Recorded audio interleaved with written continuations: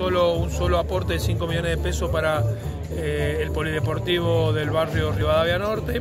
Es el único aporte que hemos recibido en estos tres años de gestión. Pero bueno, no perdemos la esperanza de, lograr algún aporte más. Eh, sobre la recaudación Y la recaudación se sostiene, se sostiene más o menos en lo que se viene, lo, históricamente, eh, lo que viene sucediendo históricamente, alrededor de un 30, 35%.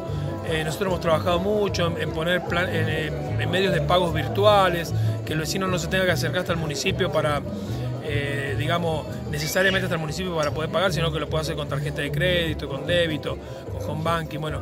Y eso creo que ha, logrado sostener, inclusive mejorar un poquito la recaudación.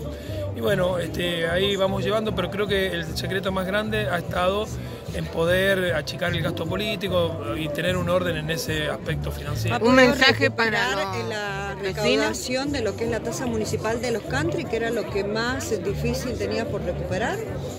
No, los, los country tienen también históricamente un nivel tal vez un poquito mejor que el, que el resto de la media pero ahí está sobre la media, tal vez un poquito más alto. Nosotros lo que sí hemos hecho, hemos, hemos mandado notificaciones a, la, mayoría de los vecinos que están atrasados, ofreciéndole todas las facilidades que tiene el municipio y muchos vecinos se han, se han acogido en este primer semestre, que ya pasó, y creo que bueno, eso digo, la vamos llevando, ¿no? Es una situación difícil, difícil para todos, para los vecinos, para el municipio, pero bueno, este, la vamos llevando, creo que no hemos salido de la, digamos, eh, no ha caído, no ha disminuido, si bien no es la óptima, pero no ha disminuido respecto a años anteriores. Un mensaje para los vecinos. Ha dar de baja la causa de las pasos, pero a ver qué van abstracto. ¿Qué, ¿Qué, opinión tiene usted que estaban justamente también desde su parte impulsando eso?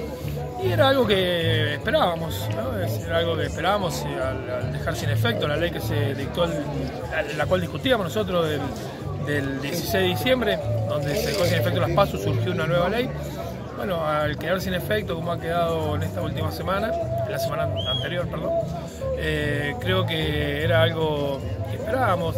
Nosotros ahora, bueno, vamos a hacer los planteos pertinentes y vamos a, trabajar con mucha fe, con mucha esperanza. ¿Planteos judiciales vamos a hacer? Vamos a hacer los planteos judiciales, que lo va a hacer todo el equipo técnico nuestro, porque nosotros lo que queremos que se entienda es que no vamos a permitir que el gobierno, por más mayoría que tenga, pues atropelle la ley.